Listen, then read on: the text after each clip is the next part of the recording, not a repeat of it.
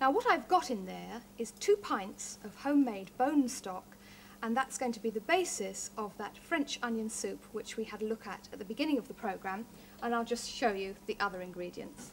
In this pot here I've got one and a half pounds of onions and these onions have been cooking in two tablespoons of butter and two tablespoons of oil and there was one other ingredient and that was half a teaspoonful of sugar and the sugar was to help to brown the onions. I hope you can see they're nice and tinged and brown at the edges and it's very important for this soup to have them really browned so the teaspoon of sugar is a great help in that. You also add two cloves of garlic, this is a very French recipe as I said, and you let them cook and brown like that over a gentle heat with the lid on for about 25 minutes. And when you've got them up to that stage, the next thing you do is uh, make it very French by adding half a pint, which I've got measured out here ready, of dry white wine. And immediately your kitchen is going to smell of France when that goes in. Then I'm going to add the stock, which I've got already measured into my casserole next door.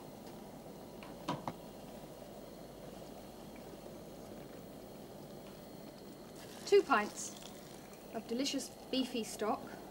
And you're probably wondering at this stage, well, can't I use a stock cube? Well, you can use a stock cube if you want to, but I don't like the chemical flavours in stock cubes. I don't think they're very good for the flavours of the food. I think they're contrary very often.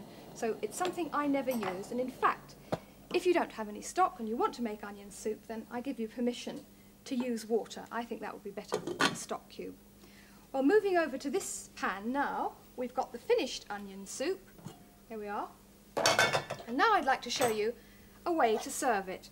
The one you saw at the beginning of the programme was in a great big tureen covered with slices of bread, and that's very nice, but I think it's also nice to serve it in individual soup bowls.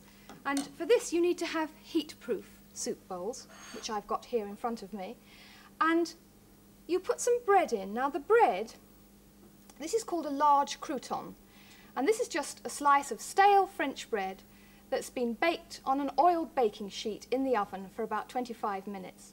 And you can make these in advance and store them in an airtight tin. So you put your crouton into the soup bowl, bring the soup over, and ladle it in on top of the bread. And when you do that, the bread floats to the surface, as you can see there.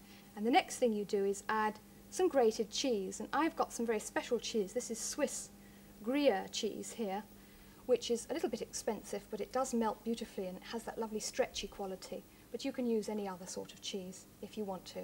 And then you have the grill on, preheated to very high, and you just put the soup bowls under the grill until the cheese is brown and bubbling and you serve it like that with some French bread and perhaps some French cheese to follow, and of course some wine.